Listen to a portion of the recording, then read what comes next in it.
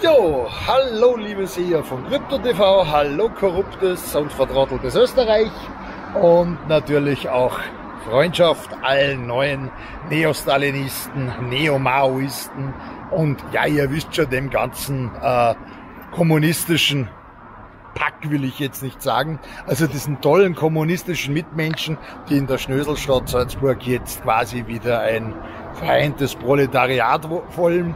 Jetzt, wo wir einen Fachkräftemangel haben und keiner hakeln will, finde ich das grundsätzlich toll. Egal, wir stehen, wie man am kleinen Banner sehen kann, hier vor der digitalen Welt des Küchern, wo ich letzthin äh, mit dem Roman war, um einen Akku zu bestellen. Ihr wisst ja, äh, er hat am Wochenende, sprich am 30., also am Tag der Gedenkfeierlichkeiten zur Bücherverbrennung. War unspektakulär, weil niemals vergessen funktioniert er in diesem Land nicht so. Ist natürlich nicht ganz richtig, weil wir arbeiten ja aktuell jetzt gerade äh, parlamentarisch, wissenschaftlich ähm, die Corona-Vorgänge auf. Das heißt, man könnte sagen, der Verhöhnungsprozess hat begonnen. Ähm, na, äh, mein Fehler, Versöhnungsprozess natürlich.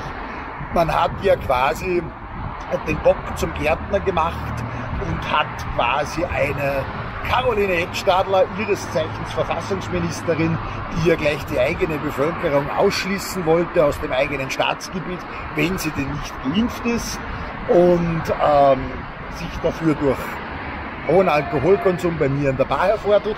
Damit ist sie aber nicht allein. Ich hatte am Sonntag einen kleinen Zwischenfall. Ich hatte ja frei. Ich habe mir ein anderwertiges Programm gemacht. Auf Romans Videos könnt ihr das nachsehen. Ähm, wieder mal einen, einen braven Untertanen gehabt, der mit 1,6 Promille äh, quasi äh, die Exekutivbeamten angegriffen hat, nachdem er das Gartentor beschädigt hat. Dazu gibt es einen Pressebericht bei Salzburg 24 irgendwo im Netz. Der Roman wird nicht verlinken, weil es wird mal Zeit, dass die Leute selbstständig irgendwas rausfinden. Warum ich das sage, erkläre ich dann auch gleich. Sei es wie sei, wir haben also jedenfalls heute äh, mitten im Verhöhnungsprozess, ah, falsch, Versöhnungsprozess, den 5. Mai 2023. Alles neu macht der Mai. Deswegen hat der Vizekanzler, ihr wisst schon, das ist der Herr Gogler, ähm, ja auch jetzt nach der Wahl festgestellt, etwas verspätet, ich glaube, er hat da noch ein bisschen einen Kater auszuarbeiten, ist aber nur meine persönliche Vermutung, dass die Wähler in Salzburg ja Klimawandelleugner wären. Ja, jetzt bin ich also mal wieder ein Leugner, ja. macht nichts. Äh, hatten wir schon mal. Wir waren ja Corona-Leugner und jetzt sind wir halt Klimawandel-Leugner. Ich weiß nicht, was ich noch alles Leugner bin. Jedenfalls so tragisch kann das mit dem Klimawandel nicht werden, wenn ich mir anschaue, dass man in Salzburg, also im äh, kommunistischen Salzburg, schwarze, was ich durchaus verstehen kann, es entspricht der Trauer, Blechfassaden an Häuser macht. Harzt sie nicht auf, ist also quasi in Zeiten von Dürre und wir werden alle verglühen. Sicher baulich ein recht intelligentes Ding. Und dass unser Vizekanzler ja quasi vor kurzem eine Initiative gegen Hass und Hetze gemacht hat, finde ich in Anbetracht der Tatsache, dass er uns ja schon als Neofaschisten, Staatsverweigerer und Rechtsradikale, die auf der Straße spazieren, spazieren, ähm, tituliert hat, jetzt quasi uns alle als Klimawandelleugner bezeichnet, sicher richtig. Also ich weiß ja als Bildungsferner nicht, was Hetze ist, aber mal die eigenen Untertanen, also die Psoffenen, die da quasi Gartentil beschädigen im Rausch, weil der Kanzler gesagt hat, sie sollen sie aussaufen und Psychopharmaka nehmen. Die Mischung macht blöd. Ja? Bei manchen kommt dann nur der vierte Booster dazu, aber das ist eine andere Geschichte. Jedenfalls also, dass diese Untertanen sich weiterhin beschimpfen lassen, spricht auch für dieses Land, aber Freundschaft genossen, Freundschaft. Ja, und deswegen gehen wir jetzt einfach mal, um wieder dokumentieren zu können, was in diesem Ver ähm, verschonnenscheinten Land so passiert, äh, festhalten können, einen Akku holen. Ich habe ja gesagt, ich werde den Max unterstützen, ich werde den Darian unterstützen und ich unterstütze natürlich den Roman, der ist heute einmal an der Kamera und hält mein Geprabbel fest. Und ja, ich hätte mal gesagt, nachdem wir uns jetzt im äh, sonnigen Schatten des schwarzen Hauses, nein, es gehört wahrscheinlich nicht der ÖVP, äh, aufgehalten haben, gehen wir jetzt einfach einmal zur Küche hinein und holen den Akku. Da kann man nämlich dann für kleines Geld, wie gesagt, den Roman unterstützen. Und das ist wichtig, weil sonst ist der wieder genötigt, in irgendeiner Form mit seinem Handy zu filmen und das hat leider mhm. Gottes letzte nicht so gut funktioniert. So, das haben wir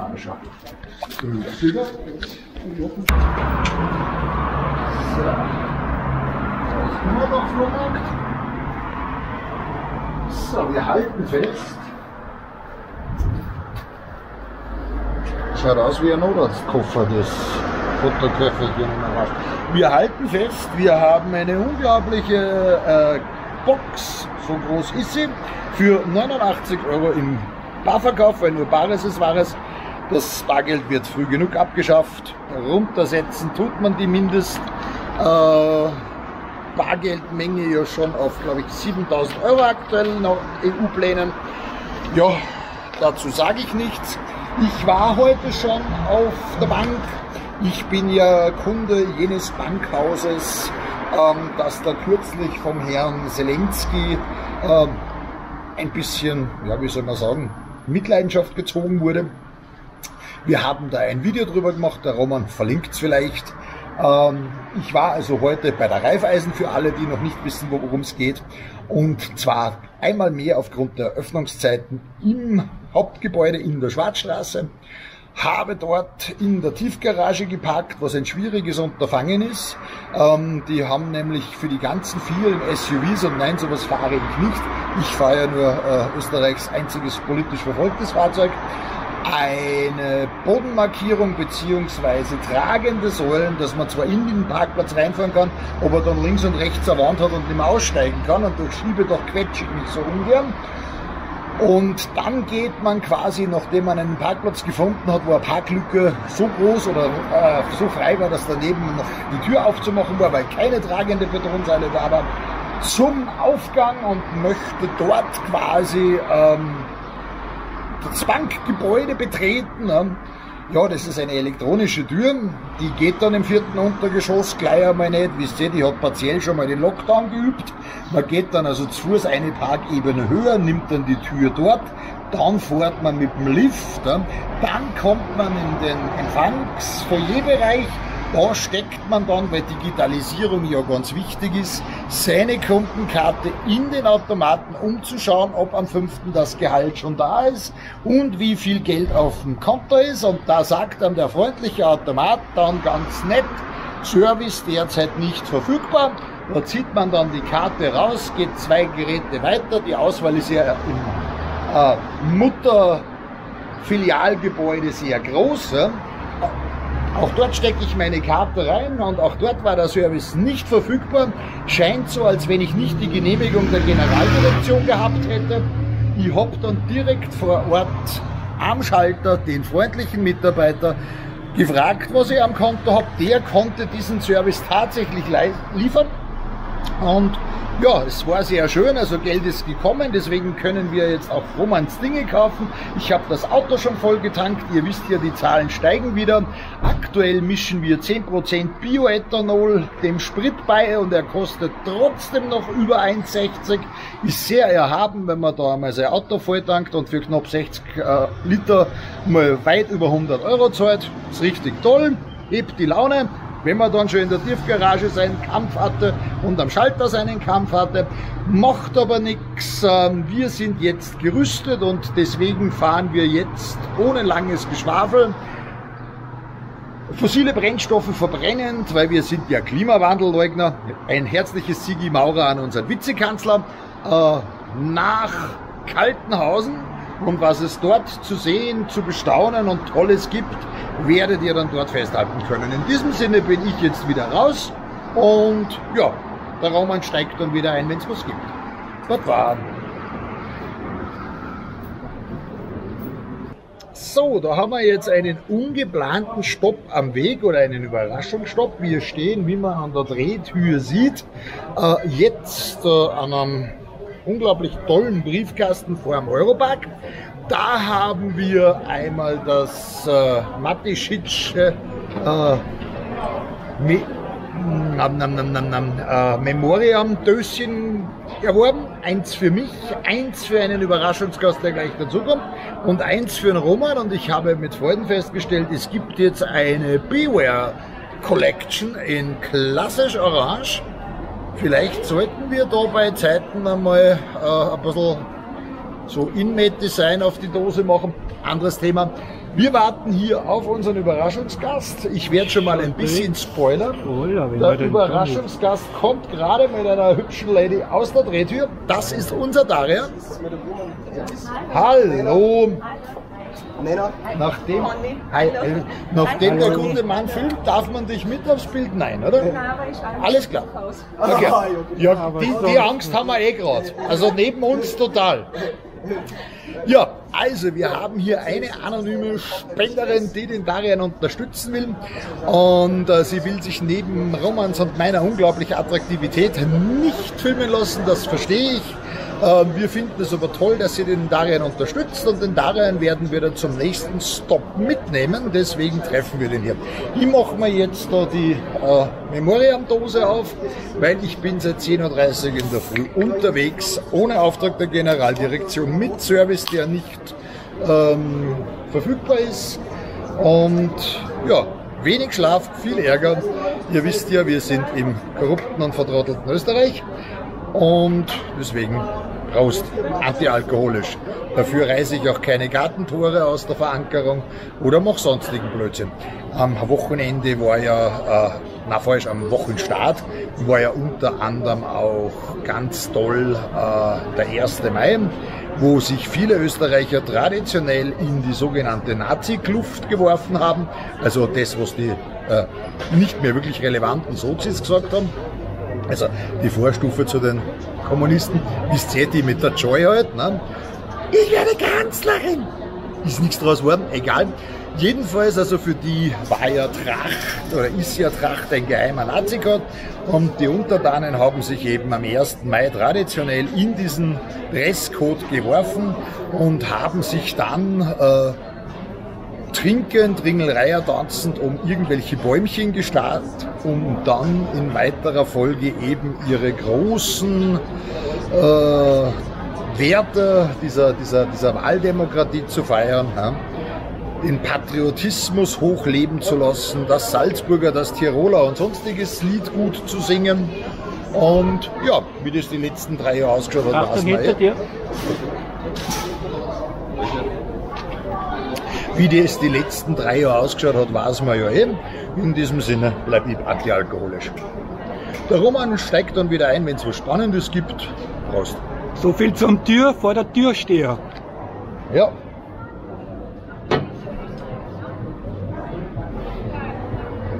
Das ist die Post CO2-neutral.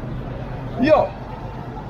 Wie der Roman festhält, haben wir auch hier ein schön gewaschenes, ordnungsgemäß am Vorplatz abgestelltes Polizeifahrzeug. Da hinten haben wir auch das Wachzimmer. Ähm, weil ich ja zuerst so ein bisschen darüber gesprochen habe, dass der Vizekanzler sich wieder geäußert hat. Es gab jetzt nach langer Pause, ich vermute, es gab mal wieder einen sogenannten Strike und RTV Regionalfernsehen durfte nichts äh, posten auf YouTube oder nichts hochladen. Am 3. Mai, also dem Tag der Pressefreiheit, ein Schelm, wer Böses in Österreich dabei denkt. Ihr wisst ja, Österreich bewegt sich, glaube ich, in Sachen Pressefreiheit irgendwo auf Platz 29 und ist damit, sofern es sich nicht verbessert hat, was mich schwer wundern würde, bei einer Haushaltsabgabe für einen ORF ähm, und einem Standard, der über Eiernockerl und den dazugehörigen Skandal berichtet, irgendwo hinter Namibia. Ähm, es gab eine Umfrage laut RTV und äh, laut dieser Umfrage ist das Vertrauen in den ORF, in die EU und auch in die Regierung weiter gesunken. Nein, wer hätte das gedacht? Aber weil wir hier gerade so schön vor einem sauberen Polizeiauto stehen, in die Blaulichtorganisationen, also da gehören jetzt quasi für alle, die es vergessen haben, verdrängt haben oder nicht glauben können, ähm, die Feuerwehr, die Polizei und das Rote Kreuz dazu, ist das Vertrauen gewachsen. Die haben jetzt anscheinend ein paar Prozent zugelegt. Finde ich in Anbetracht der Tatsache, dass sich die Exekutive, also quasi die Herrschaften mit den gut gewaschenen Autos, instrumentalisieren haben lassen, um in Vorarlberg Warnschüsse abzugeben, um Leute einzusperren, weil sie unter freiem Himmel ohne Maske spaziert sind, die alte Damen am nassen Wiener äh, Trottoir fixiert haben mit mehreren Beamten und dergleichen. Also die Liste ist lang, die gegen mich als Zulassungsbesitzer des ersten politisch verfolgten Fahrzeugs ermittelt haben und so weiter und so weiter. Ähm, ja, finde ich spannend, dass die jetzt besser dastehen. Ich finde es auch in Anbetracht an das Rote Kreuz sehr spannend, die ja quasi Impf- und Teststraßen gemacht haben und sich da einer ja, ganz der Liebe zum Menschen verpflichtenden Maschinerie angedeiht haben. Gut, die Feuerwehr finde ich grundsätzlich toll. Ich meine, ich weiß zwar nicht, äh, wie das jetzt ist. Ah, die sind, glaube ich, die einzigen, die noch vom Kanzler, wenn er wieder mit seinem überteuerten, größten gecharterten Privatjet aus Afrika zurück ist, wo er sich noch als Häuptling feiern lassen kann. Bei uns geht es ja, wie gesagt, trotz 104 BR-Berater nicht mehr. Ähm, ob die dann quasi eine Verdienstmedaille bekommen, die Herrschaften vom Roten Kreuz haben ja schon einen Orden bekommen. Der Roman wird es vielleicht einblenden. Weil das Schöne ist, die Feuerwehren machen hier, also die Freiwilligen Feuerwehren machen hier zur äh, finanziellen Aufbesserung ihres, ihres Daseins für neues Material und so weiter immer wieder so Bierzelte und, und Feuerwehrfesteln. Und nachdem der Alkohol ausgeschenkt wird, da sind wir wieder beim Ringelreiher und Maibaum und so Sachen, ähm, sind die ja ganz im Sinne des Kanzlers, weil ihr wisst ja Alkohol und Psychopharmaka. So, damit sind wir jetzt raus. Das Auto ist gewaschen, wir haben es kontrolliert. Wir begrüßen jetzt den anderen Straftäter höchstpersönlich mit einer Herstellung am Abend. Servus. Hi Roman. So, Hey, Bro. damit können wir unserem nächsten Stopp entgegengehen und der Roman steigt dann wieder ein. Wenn wir drei äh, Klimawandelleugner, Corona-Leugner und äh, Staatsverweigerer und alles, was der Vizekanzler sonst so gesagt hat, äh, am Ziel sind. Jetzt geht's nach Kaltenhausen. Und zwar nicht wegen am Bier. So viel sei schon mal gesagt. Folgt uns unauffällig. Ah, wir wollen uns aber nicht in die Sonne hucken, oder? Ich meine, ich bin ein Nachtschattengewächs. Das Begrüßungskomitee, Elvis. Das ist das Begrüßungskomitee. Das ist total toll. Milz, Der gewisse Unterton. ja, ich habe am Sonntag schon eine rote Bieren gehabt. Mach mir auch gleich eines bereit, bitte. Auch mild.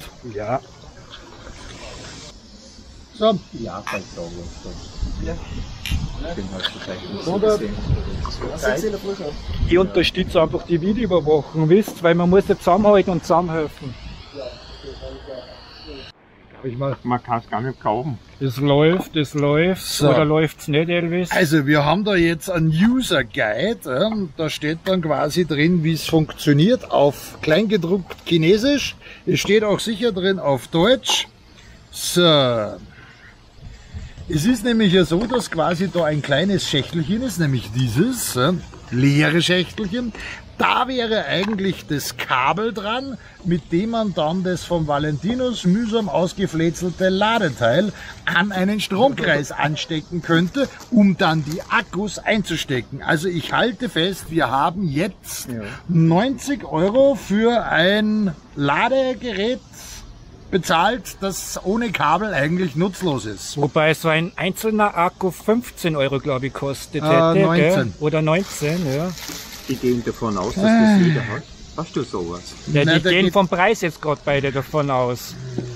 Was, was kostet jetzt das alleine dann für sich, was? So. Für die Weltraumtechnologie muss man natürlich was hinblättern, gell?